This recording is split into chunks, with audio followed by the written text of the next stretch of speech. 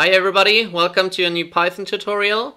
In this tutorial we will talk about copying. So we will learn how we can copy mutable elements with the built-in copy module and the difference between shallow and deep copies.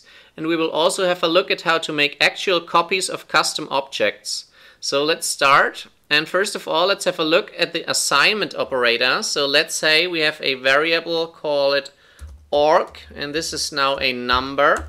And now if you want to make a copy with an assignment, so we say copy equals original, then this will not make a real copy, it will only create a new variable with the same reference. So now both um, variables point to the same number.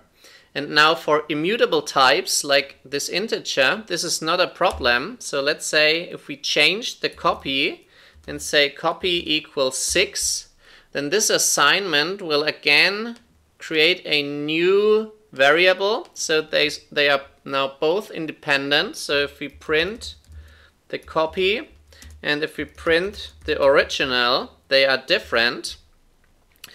But when we deal with mutable types, so for example a list, then we have to be careful. So let's say we have a list here uh, with some elements. So let's say 0, 1, 2, 3, 4. And now we make a copy with this assignment operator. And then if we change elements of our copy, so let's say we want to change the first item and say this is now minus 10. And now if you print both the copy and the original, we see that also the original has the value minus 10 here. And this is because this assignment operator doesn't make an actual copy. So to make an actual copy, we can use the built-in copy module. So we can say import copy. And then we have to make a difference between shallow and deep copying. So a shallow copy is only one level deep. So at the first level it makes an actual copy but then it only copies references of the nested child objects. And then there's the deep copy, so this will be an, a full independent copy. So let's start with an with a shallow copy. So to make a shallow copy, we can say copy equals copy dot copy and then the original.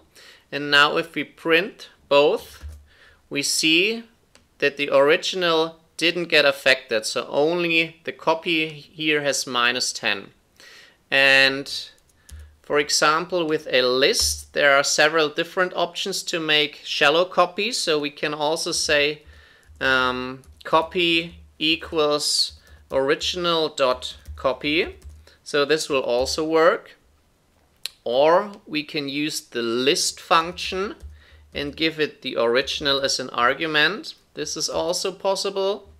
Or we can use list slicing, so we can say org and then the slicing operator. So this will simply be from start to end. So this will copy all elements and this will also make an actual copy uh, or a shallow copy. So this works fine if our element is only one level deep. And now let's say we have a nest or nested list. So let's say we have a first list here, a list inside a list, and then a second list here, so with some more elements. Um, sorry. So this is our original list, and now we make a shallow copy, and now we change an object or an item that is at the second level. So we say copy at index 0, so in this list, and then again at index 0. So this element, or for another example, let's make index 1 here. So this is this element. And now this we want to set to minus 10. And now let's see what happens. So if we run this, we see that both the copy and the original now have minus 10 here. And this is because a shallow copy is only one level deep.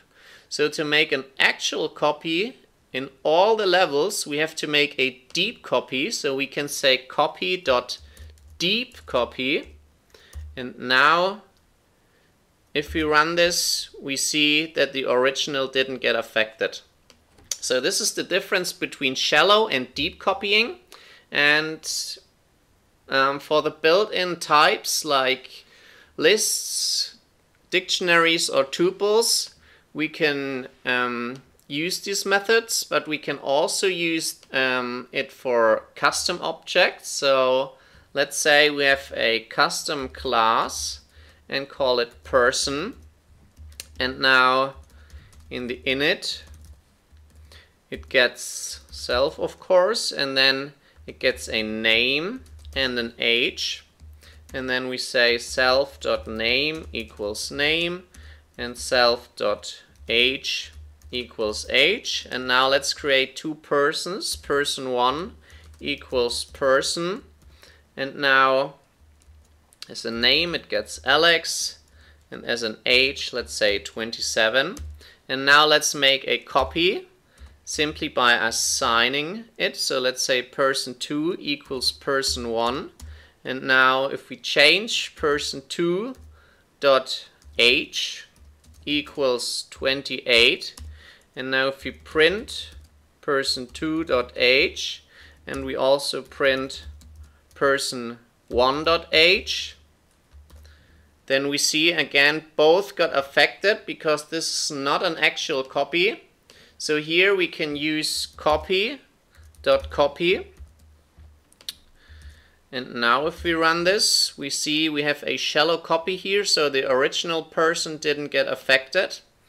Um, but again now if we have a deeper structure so let's say or let's first create our person class and let's say we also have a class company um, this gets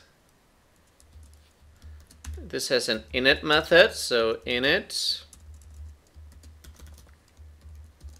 self and now this gets two persons. It gets a boss and an employee. So self dot boss equals boss and self dot employee equals employee. And now we create two persons so one boss so the boss might be older. And now a second person Joe who is a little bit younger.